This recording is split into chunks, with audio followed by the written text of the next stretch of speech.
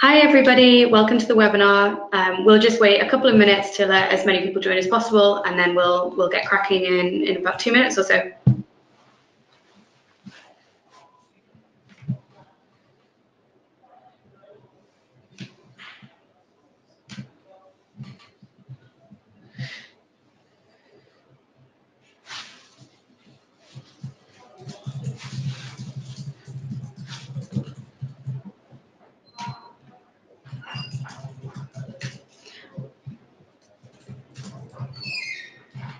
Okay, it already looks like we've got a fair few people joining, so um, I'll just get started.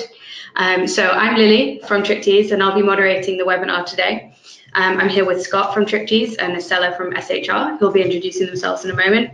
Uh, I just want to take a couple of minutes just to walk through uh, what we'll be talking about today, how the webinar software works, and uh, how you can get in touch with any questions. Um, so our topic today is the new meta search, smart bidding with Google for guest acquisition and conversion. And we've got a real range of companies on the call today. So we'll start by taking um, a bit of a, a zoomed out look, um, talking about um, we're talking about um, why meta search matters, uh, kind of zooming in on some of Google's recent changes. Uh, then we'll talk a little bit about uh, what Triptease have been doing recently um, in terms of our technology, how we are looking at the kind of which levers to pull, how to really optimize your performance in a meta search function, and then taking a look at the full funnel view from acquisition through to conversion and how you can really start to use both of those strategies to power each other. Um, so the software we're using is GoToWebinar, so you should all have a control panel. So um, there's a questions bar on there, so you can submit questions at any time, um, whether it's to do with um, anything technical, you can't hear us, you can't see us properly, and just let us know. Or if you have questions about any of the content, do put them in there and we'll come to the, as many as we can at the end if there are questions that we don't have time for, we'll be following up afterwards. Um, so I'll get started. Um, so um, this is uh, Scott and Estella. So Scott, I was wondering if you could just start by introducing yourself and Triptease. Hi everyone, I'm Scott here from Triptease. So I am a product manager on our guest acquisition product. So many of you, I assume, will know Triptease already. We've been around for five or so years helping hotels convert guests on their hotel websites. In the last kind of six to nine months, um, we've moved beyond the hotel website, realizing that we have tons and tons of really exciting data that we've been collecting from hundreds of millions of user journeys, and realize that we can harness that and push that into meta search auctions to drive your guest acquisition strategy. Perfect. And Estella, if you could tell us a bit about yourself and SHR. Absolutely. Welcome, everyone. I am Estella Hale, and I am the Chief Product Evangelist at SHR. In this role, I help determine uh, strategy for product development here at SHR. And what we do at SHR is we do distribution technology. We've been pioneering advanced distribution technology for over a decade. And um, we do so by helping to just simplify the complex world of hoteliers with our technology. And then we provide the intelligent support that is needed to support it. Fantastic, thank you. Um, someone's on the line just saying that we have a slight issue with an echo, so I'm just going to revert to the microphone. Um, I hope that fixes the problem. Do let me know if you're if you're still hearing an echo. Um, but in the time, uh, in the meantime, let's move on and begin uh, with some of the content. So, Estella, I was hoping you could take us through um, why are we talking about meta search now? Kind of uh, why is it kind of feels like there's been a resurgence in, in, its importance and how much hoteliers are talking about it. So maybe you could just take us through the bigger picture of why we're talking about it now. Oh, absolutely. Yes, yes, that this is not new, but it is definitely very very relevant, very relevant now, particularly with the changes that we're seeing in Google. And Google really they're in a great position to be a meta search provider for hotels because well, they're the meta search providers for everything else and they focus a lot on the user experience. So what I see is that this matters from a distribution perspective. Well, number one, because your guests are there. And since your guests are there, and one of the main purposes of appearing on these online travel and digital presence is to reach your guests where they are. So it is very important and very relevant. Fantastic, thanks. Um, so Scott, maybe you could take us through what we're looking at on this slide and, and some of the functionalities um, around meta search. Yeah, sure. So here I've just got um, three different examples. Um, of some of the different meta search sites. So there are about 40 or 50 different meta search sites globally that, that we recognize, but really the, there's a long tail of quite small uh, providers, and but really it's, it's, much more concentrated up at the up at the top end. So we think that Google have around about 50% market share in terms of the bookings delivered through Meta, um, with TripAdvisor and Trivago following in kind of uh, second and third place. And then there are other big players such as Skyscanner, Bing, WeGo, Hotels Combined, and Kayak. Um, focusing in on Google, as we said, this is the biggest player and they're also the fastest growing. Um, I just thought it would be worth uh, contextualizing actually what meta search is for those that are, aren't so familiar with the subject. So as you can see on this Google panel here, I've got three different colored rectangles. So just to make it really clear as to which bit we means which. In the green uh, rectangle at the bottom, this is the like organic search listing. So this is typically what your SEO optimization is for. It's how can we get the highest listing uh, within the search engine results page here. In the blue box, these are the Google ads. Um, so these are the paid uh, AdWords um, kind of promotions that hotels can offer. But you know, these aren't limited to just hotels. You know, any um, any kind of uh, business are able to participate in these. On the right, however, um, this is the, the bit that we're talking about today. This is the meta search panel. Um, and as you can see here, this is this panel will appear when you make a branded search for the hotel. So, and that's important to, to point out. If I typed in here luxury hotels New York, um, this this panel wouldn't appear. So once you actually uh, actually type the name of the hotel, this will this uh, this panel pops up. I guess one of the, the first things to point out that you'll notice is that there's some imagery at the top. There's a map. Um, you can see information such as you know, how many stars the hotel has, its address and phone. Um, but most importantly uh, is the price. And really what differentiates MetaSearch from an OTA is that MetaSearch is like an index or library um, of different prices. Meta channels don't actually sell the hotel room. They're merely linking through to other um, providers that actually are selling that inventory. And so as you can see here, there's that direct price listed right at the top um, with OTAs underneath it. Fantastic, thanks, Scott. Um, again, if you do have any questions, um, just do keep uh, throwing them in. If they're kind of pertinent to what Scott's talking about right now, then we'll we'll put them straight to him, or otherwise we'll save them to the end. Um, so moving on to our kind of our next topic or our next slide. Um, Estella, maybe you could talk us through what can we see uh, Google doing in the travel space um, and why are they important to this discussion? Yes, definitely. They've, they've recently um, release this very clean, very uncluttered map-based user interface. And data indicates that both from the travel perspective and the hotel perspective, searches are starting on Google. And with these recent changes on, on the user interface, it indicates that Google is aiming to keep that traveler, that journey, that search on their platform for longer. So think of the path that uh, has been typically followed with MetaSearch, and, and Scott did a great job describing right now how um, that end path of booking happens when they click away from it. Well, that is extending. Google's intention is extend the traveler journey for longer. Um, but specifically, I'm going to call on Scott to tell us more about the interface. Sure. So this interface is um, it's actually really new. I mean, it's it's incredible how often Google are experimenting with new things. I mean, we need to remember that Google's mission statement is to make the world's information accessible online, and so they are constantly iterating and trying new things to optimize the travel journey. And so they're, they're making strides in not only hotels, but in flights, in uh, restaurants, and in listings like this. And they're synthesizing a lot of these different um, different data sources, and they're bringing them together in a really like easy to use UI, such as you can see here. I'm sure lots of you will, if you haven't seen this already, will, will think that this is actually very similar to Airbnb. I mean, we think it's it looks pretty similar, um, and obviously Airbnb uh, and Google are both best in class uh, at, at, you know mm-hmm. conversion rate optimization, um, and so you know it's no surprise that Google will continue to do things like this to work out how they can best monetize um, their, their travel partners. Absolutely, and I think what, what some people have picked up on from this new interface is that um, there's obviously a great deal of pricing information and the meta search auction, but it does seem that there's quite a lot of organic information being brought in as well, whether it's reviews or photos. Um, so I wonder if we could explore a little bit the question of um, meta search uh, engines have always historically been supplier agnostic. Mm-hmm. Um, whereas, is there any indication that Google are kind of leaning towards the direct provider?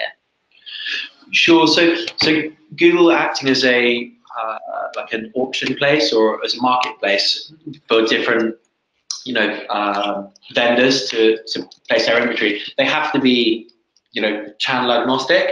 and you know people wouldn't simply wouldn't want to participate in those auctions if the, the you know the cards were, were the, the, the, decks were stacked um, and that's you know that's that kind of uh, what we think to be as a bit of like a rumor is probably even more so the case when you look at some of the uh, meta search channels such as like Kayak and Trivago, which actually are both partly or wholly owned by Booking and Expedia Holdings. But again, you know, these guys are obviously like vetted and audited and to make sure that everything is, um, you know, it is fair. The one thing that like Google do say that they will discriminate on in terms of from one supplier to another is on price accuracy. Google are, you know, as Estella mentioned earlier, you know, all about that user experience. And one of the most damaging things you can do to your meta search campaign and to your reputation in the eyes of the consumer is uh, to show a price or send a price to Google that actually when they, the user clicks through to that link is then incorrect or more expensive than, than they were than they were uh, than they were anticipating. If this happens, Google will uh, really like penalize you and they will make it more expensive for you to bid, which will impact your ROI. So that's the only thing I can really think of in terms of you know how Google treat different partners. Uh, Google really important. Yeah. About seven out of uh, seven or eight out of all hotel searches starting here. Um, when it actually comes to the meta piece, one of the first things and one of the like the lowest hanging fruit um, kind of things that a hotel can do is to sort out their Google My Business listing. So in conversations with the uh, the head of Google Travel here in EMEA, he was saying that still a really surprisingly high amount of hotels don't actually have the correct information listed within Google My Business. So if there's one thing that you guys do um, after the call today, it's if you haven't looked at that in a while, go through, make sure that your uh, address and your phone number are up to date, that the website links through to the right place, that you've selected the right photo if you're able to do that, um, and all these kind of really basic things that just can will take you you know 20 minutes to update, but will really change how your hotel is presented on the most important website in the world. Um, kind of moving on to, to meta search. So, you know, I, I referred to you earlier to some of the features of this meta search panel, um, which you can see here on the right hand side. Um, there's there's a few different um, like ways in which you can really succeed in the auction. The first of those is simply to be there. So, you know, we know that the users are there. To really like, I guess, put some data behind that, OTAs are getting 24% of their inbound traffic from meta search. That's massive. Like one in four of their of their inbound users are coming from from Meta. From the average hotel, it's only two percent. So there's this enormous difference, right, between how well hotels are really like monetizing and and I guess like harnessing the power of Meta versus what the OTAs are doing. And so we think that it's just you know, again, if there's something else that you, you know, there's another key take takeaway from this uh, from this webinar, it's that you, you really need to be there. You know, quite simply, someone, you know, a client once put it to me, they're like, Scott, I think of it like a shopping list. And if you're not there, you're not going to get bought. And, and that's exactly right. So that's, that's step one is making sure that you actually have a presence within Meta. Um, and then after that, we can kind of look into this, uh, look into this panel and we can look at the different aspects of what's going to really drive success. So number one is parity inherently, if someone is looking on the meta search uh, panel, be it on Google or Trivago, TripAdvisor, or, or any of the others, they're price conscious because they're not just going blindly to your site or to their OTA of choice. They want to shop around. They want to see where they can get the best price. So it's really important that you're putting your best foot forward um, and that you're showing uh, your, your potential customers or maybe even your existing loyalty customers that you, you are the, the best place in terms of price to uh, to for them to purchase a room. So at Triptease, we have a you know, a market-leading solution in our in our on-site parity tool, and we're really kind of delighted that we're able to roll that out into meta search as well. So we were actually able to um, stop you from being shown when you're being undercut on Google. And so what that means is that we can both protect your brand um, from, you know, especially if you're like a luxury brand, the last thing that you want to do is really reinforce this idea in the consumer's mind that there's a better better place for, uh, for them to purchase your, you know, your product. Um, but also it really makes a real big economic impact because actually even if you are being undercut on Meta and you show anyway, a user will often click your click your website, have a look around just to get a better feel for the brand because we know that the vast majority of users who book on an OTA don't just book on that OTA without checking you know the website. They want to go and really get a better you know look at more images, really get to see the descriptions of the rooms as written by the hotel themselves. So that's costing you money. So that's what we think is the probably another key takeaway is that you've got to be managing your parity on Meta. Um, the other things that we're doing is making sure that we're um, and the other things that you know anyone should be doing is making sure that you're showing to the right people. So we've uh, created what we call a guest value index, and what that means is we're looking at both demographic information as well as behavioral information to, to establish who we want to show to and how much we're willing to pay um, to show to that individual. So within Google, there are uh, five or six different levers that you're able to that uh, you're able to pull in order to manipulate how much you want to pay to uh, feature in that auction. So these things include, you know, where which user is the country coming from, sorry, which country is the user coming from, what device are they browsing from, what's their length of stay, when are they looking to check in, and things like that. And so these are really kind of complex to all do in tandem, and that's why we've approached this with a sort of AI machine learning type approach because it's you know it's really profoundly hard to do this um, like at scale and for especially if you have multiple properties or you have guests coming from lots of different markets um, so in order to really drive like uh, ROI you want to make sure that you are making sure that you're only really showing to those high value guests who are most likely to convert and not to those people that are early on in their purchasing journey or from markets that are really unlikely to ever stay at your hotel. Mm-hmm. Um, Thanks, Scott. Cool. Um, I think, although we've had a bit of a disjointed experience so far today, so I think we might we might have missed it. But I was wondering if we could just run, return to. I think some people on the call might be wondering, um, what are the difference? So we've talked about kind of how, how best to perform on search, but for people just entering into it, what are the different payment and pricing options that people have, and how does that differentiate from an OTA? Sure. So broadly speaking, there are two uh, there are kind of two ways or two different camps that, that you can participate in meta search. One is kind of what Google calls CPC, which is where you have a fixed media budget uh, every month. So you might say, for my hotel, I have five thousand um, dollars, and you spend that with Google as best you can. Uh, and you know, your clearly your objective there is to get the highest amount of bookings or highest amount of booking uh, value that you can from that fixed budget.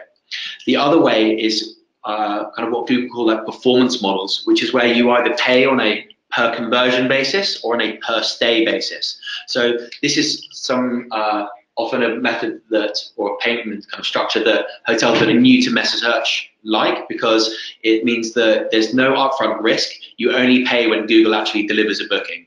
And so if you're thinking about how can I kind of test out the waters and see if meta search is something that works for the hotel, that would be that would be you know quite a, a common entry point. Okay, fantastic. Thanks so much. Um, now, Stella, um, if we return to you, um, I just wanted to again zoom back outwards and think about what are the implications um, of all of this for hotels, kind of Google moving into their own travel sites, um, this emphasis on meta search being the place to kind of be appearing. But like wondering if you could take a, a bit more of a zoomed out approach to, to how hotels should be feeling. Absolutely. Um, so Lily, going back to just distribution strategy and what we were mentioning earlier about just the motivator behind the digital presence and the digital effort of a hotel and a channel. What we're seeing on our side, we, we connect hotels to pretty much every channel uh, uh, that is available as a central reservation system. And we're seeing a tiredness of connecting to hundreds of channels, which was a focus several years ago, and that hotels are now really focusing on their best producing ones. And after all, they should because the channels are a means to an end and connecting to the guest is the primary purpose. So I think by focusing on that strategy and on that purpose, metasearch and metasearch with Google, it's an important channel to have in a distribution mix. Of course, guided by strategy.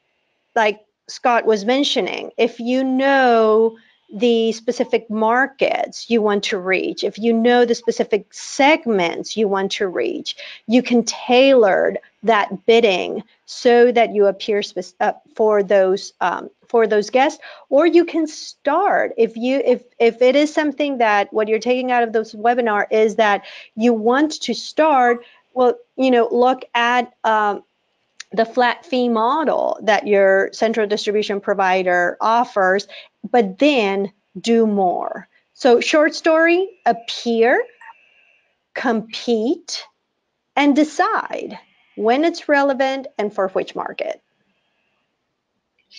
Absolutely, and we've had a question actually from James that's, that's relevant to I think what both of you were saying.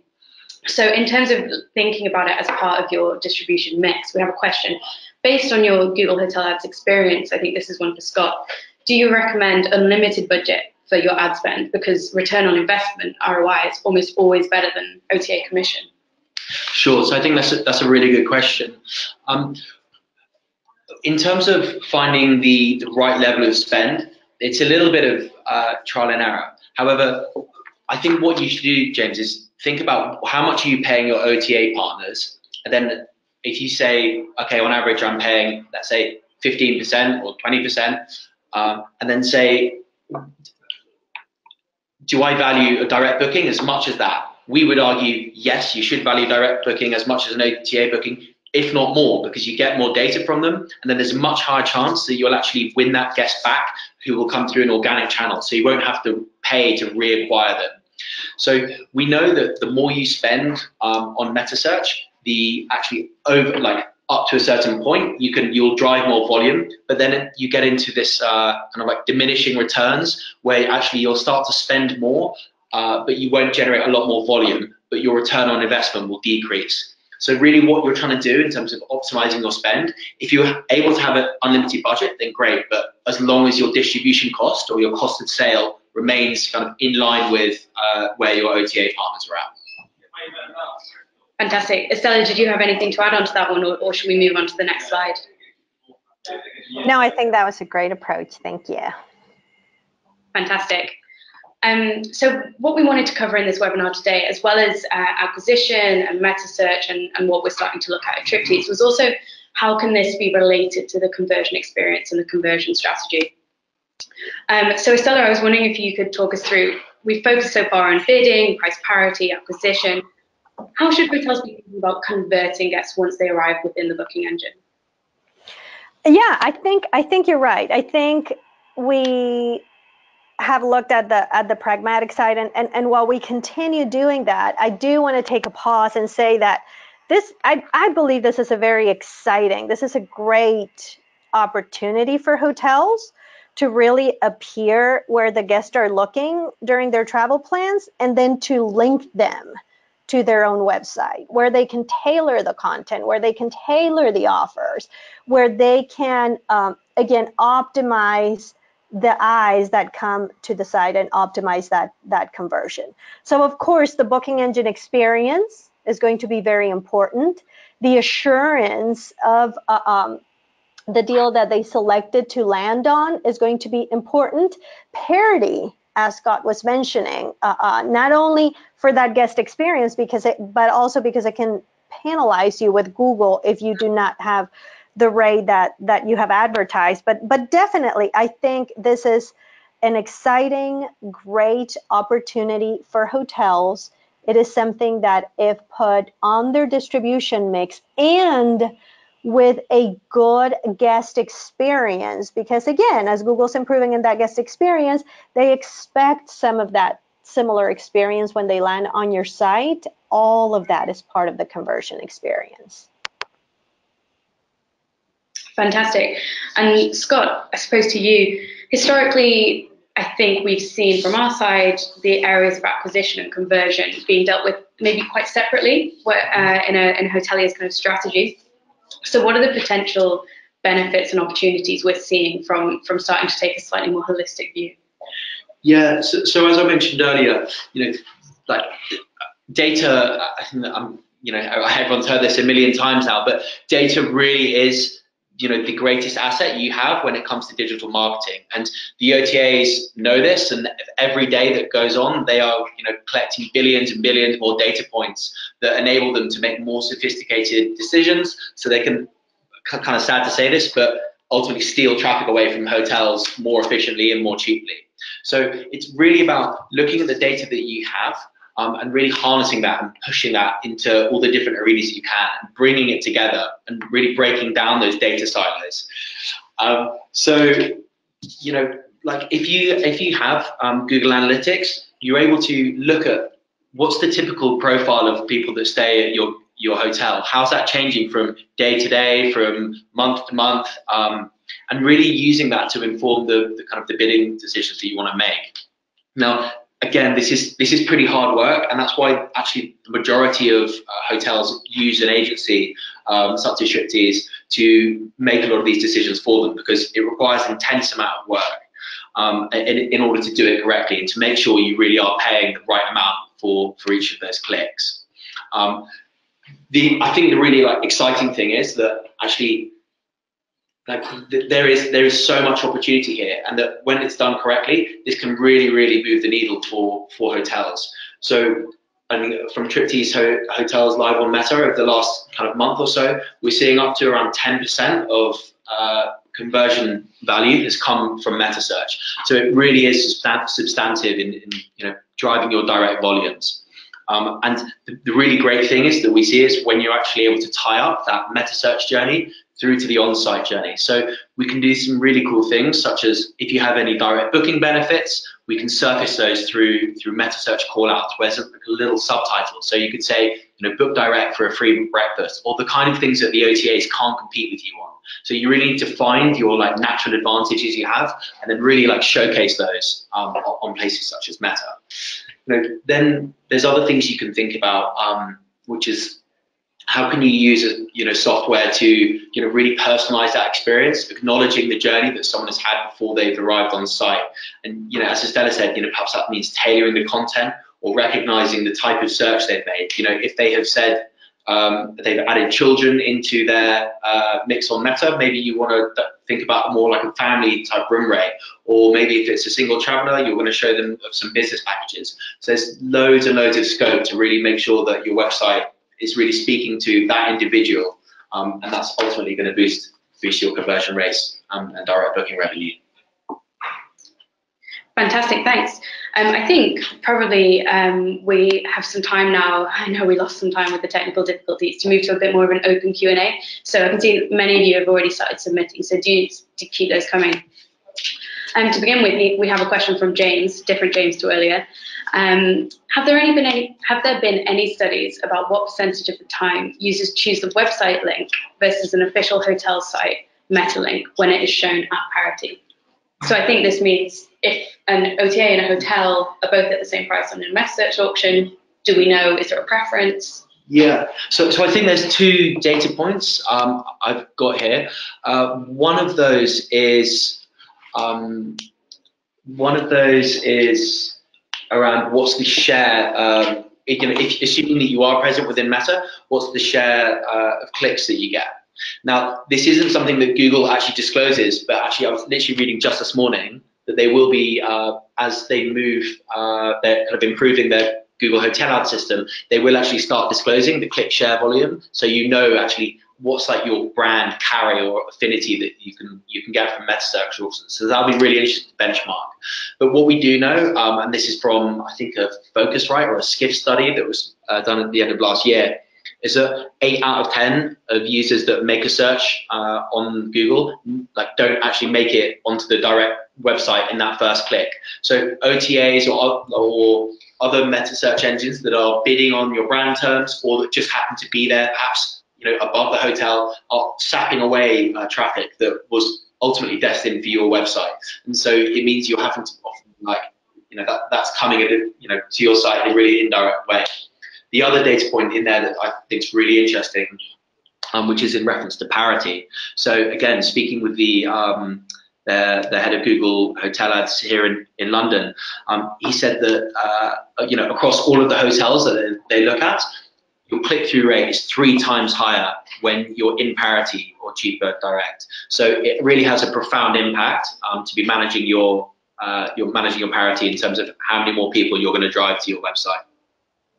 And I think that goes back to, again, the concept of number one, appear.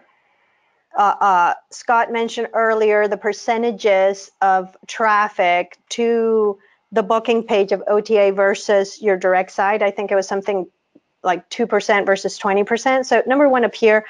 Number two, compete. So, again, show up with a price. Use the technology that you have to distribute to all of those channels. And, in, and the case of a CRS, you can derive rates to know that you're not going to have a, a, a rate that is that is lower on, on an OTA. But then also, I think you do have to take into consideration that you're going to bid when it's relevant. So yes, the, the, the percentage of how many people click to is important, but it's also important to look at from a distribution strategy perspective and what you are the results that you are getting on on that conversion or on that investment that digital marketing investment of uh, meta search versus ota or increasing traffic et cetera. so the, I think the numbers show the relevance, but I think also looking into how you're going to approach from a strategy perspective and what you expect to have as a return from appearing and from competing and from when it's relevant is also important. Great, thanks, Estella. Um, we've had one in as well, which I think many people have probably, well, I've definitely seen this commented on myself, is do we think um, with the, the kind of dot, the Google travel site, do we think that they're moving towards becoming an OTA? Can we envision facilitated bookings? I don't know. What do you think? Yeah. Well, in a way, I would say they already are somewhat of an OTA. They they definitely have a different business model, but they intend to be the place where people will plan their travel. They intend to enable purchase of that travel on their site. So again, we might it might look a little bit different because their business model is different, but in a certain way, they are a place for people to to plan travel and where they very much facilitate the purchase. Mm. And would you agree, Scott, that, that Google are moving into OTA territory? Yeah, it's, it's really it's a difficult one. And if you ask Google, they'd say no. You know, Expedia and Booking combined are two probably of their largest five or ten customers globally. I think they're spending six or seven billion dollars a year just on performance marketing. And you know, for those of you out there who, who aren't, you know, currently participating on Google, that's a pretty good indicator. You know, these are two absolute giants of the value that, that can be unlocked from, from, you know, efficiently participating in Meta. So, you know, Google has to be really careful with how they're perceived in terms of being an OTA because they don't want to upset two of their best customers. However, it does seem more and more like they are moving into that space, especially with the book on uh, Google kind of functionality that was uh, has been released in the last couple of months that actually enables hotels to um, allow their conversion experience to take place off-site, and Google will actually do all of that process for hotels, albeit at quite high expense, pretty in line with an OTA, maybe a little bit less.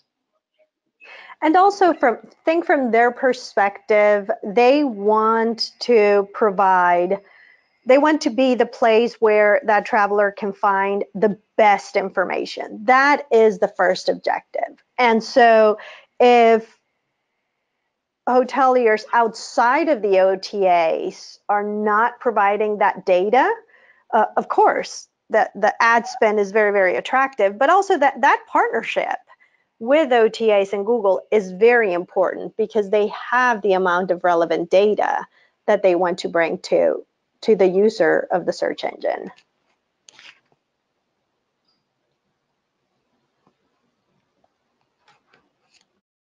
return on investment for metasearch compared to, say, taking part in PPC text ads? Yes, it's it's a good question, and I think it's it, it depends quite a lot on lots of different factors. Um, you know, even across the the different metasearch channels, we see different levels of return.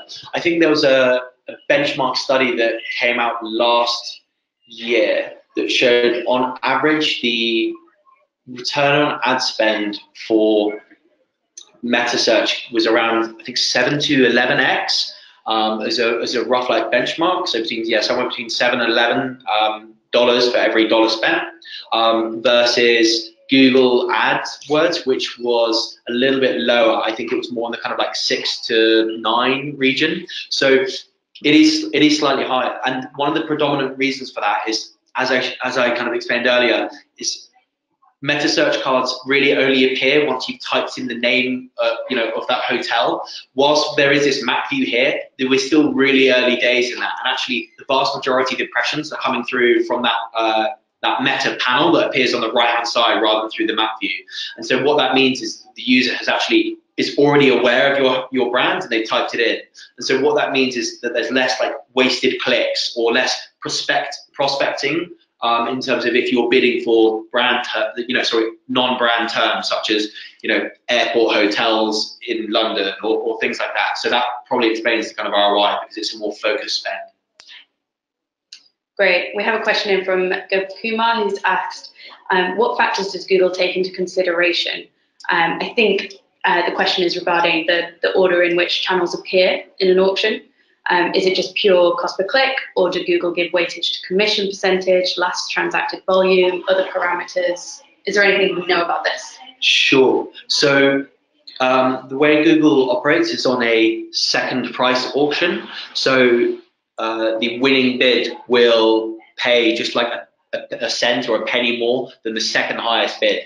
Um, and so just to kind of explain that, so if there are five people in the auction and the first bid is $5 and the second bid is $3, the actual the winning bid will be $3 and one cent. And then after that, it will just be ordered by, by rank. So the, that's really all, the, the only things that they're taking into consideration are, yeah, that really that bid amount, and then as well as the, what I mentioned earlier, which was that price accuracy score, because they will penalize you and make it more expensive if you you know, to try and incentivize you to make sure that your, your prices are being accurate. But those are the two real key considerations. In terms of percentages, yeah, clearly if someone is offering to pay a higher CPA, if it's 14 versus 12%, then that will reflect in a higher bid. Um, and so that, that provider will appear higher up. Perfect, thank you, Scott. Um, Patrick asks, what is your preferred bidding model on Google Hotel Ads, and have you integrated any Google audiences to boost performance for particular clients? Sure. Uh, so when Triptease are are bidding on Google Hotel Ads, we're we don't we're not using their automated tools. Um, we are always using our, our own like AI and machine learning to make like bespoke bidding decisions. In terms of like from a client's perspective, we have, as I said earlier, we have two options that, that uh, we give, which are, you know, you can pay on a performance basis, so you pay on pay per per booking that we deliver, or you can actually um, you can give us a, a media budget which we will spend on your behalf, which can work out as you know being actually you get slightly greater ROI, but there's a you know a little bit more risk with it because you have to give away that that cash up front.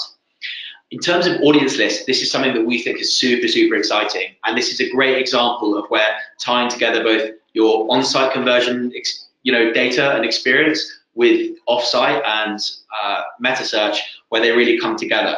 So we can, you know, using audience lists, you can do really cool things such as when you see certain behaviors that happen on your site, you can put that user into a bucket So if we see, for example, um, there's a user who's made a search for their family to go and stay in the south of France over summer, and they've been on your, and they've made three searches over the last five days, you can be pretty sure that that, that person is, is looking to, to stay at your property.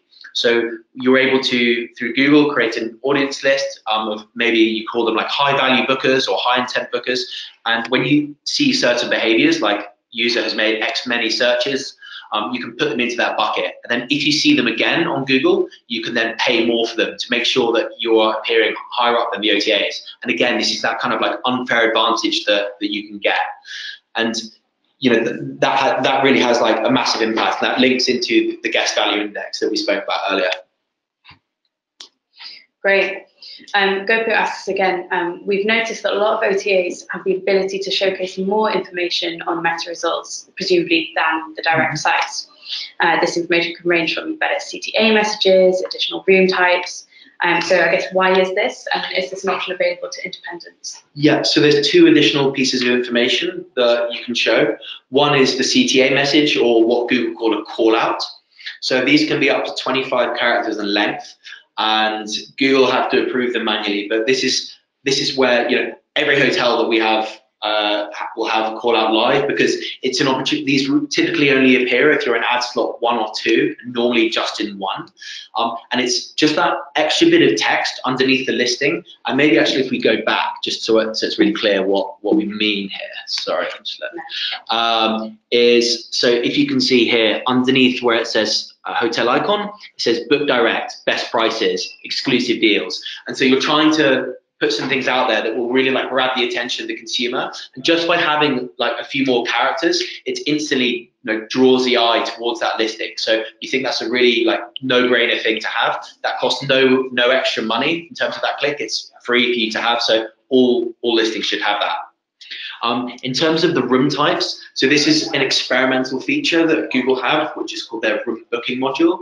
Um, and you know through that, you are able to look at the different uh, like configurations of rooms that are available. And like actually on most of these listings, if you uh, they'll often say like view more rates, and within the Google UI you can look at you know the standard, deluxe, queen, king, or presidential suite. Often all of those prices will be listed, but it's only ever the cheapest price that is shown.